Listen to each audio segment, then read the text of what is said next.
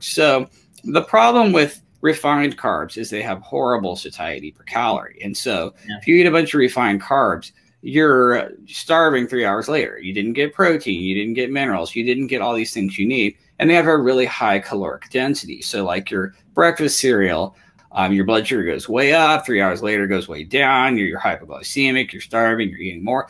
But refined fat is really not much better. Now, the thing that's better about refined fat is you won't get the glycemic excursion and then the fall that makes you feel hypoglycemic three hours later. So you're just kind of like this, but you're just passively getting fatter and you got no satiety at all. So refined carbs are really terrible for satiety per calorie, but refined fat is pretty bad too. The problem is when you have kidney damage, you spill protein in your urine. And so doctors will use the amount of protein in your urine to see how bad your kidney damage is. And then also, if you eat a lot of protein, you can have more protein in your urine, even though it's not harming your kidneys. So somehow doctors got to this point where we're like, uh, protein gives you protein in your urine, kidney damage gives you protein in your urine, protein gives you kidney damage. yeah, it's just like, it, but it's completely fraudulently wrong. Now we have a, a meta analysis that shows that higher protein diets are actually protective oh. against kidney damage. They're awesome for your kidneys. Awesome. You, if you eat tons of protein, your kidney literally gets larger and stronger and your glomerular filtration rate goes up. It's like a bodybuilder doing curls all day long. It's like your bicep gets bigger. Right, right, right. And yes, and blood urea nitrogen will always go up on higher protein diets, but it's not harming you at all. And so some doctors are like, ooh, that could be bad. But yeah, it's just completely not evidence based.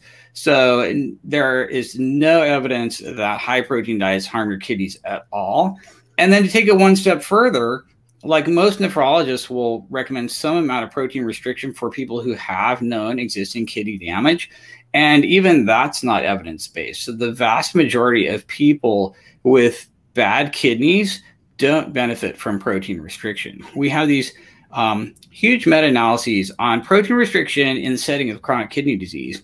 And like only, you know, 5% of chronic kidney disease, if you have this rare primary glomerulonephritis, like a primary glomerular disease, which is super rare, um, protein restriction maybe helps it a little bit, but only in men and not in women. And it was like 1%. And the studies that showed this were deeply flawed. And then we have just a mountain of other evidence in people who have the more common kinds of kidney failure, diabetes, and high blood pressure. None of these people have ever been shown to benefit from protein restriction at all. So, like if you have diabetes and diabetic nephropathy and your kidney functions, decrease, you actually don't benefit from protein restriction. And doctors are still recommending protein restriction, even though it's not evidence based. So this is definitely a huge problem.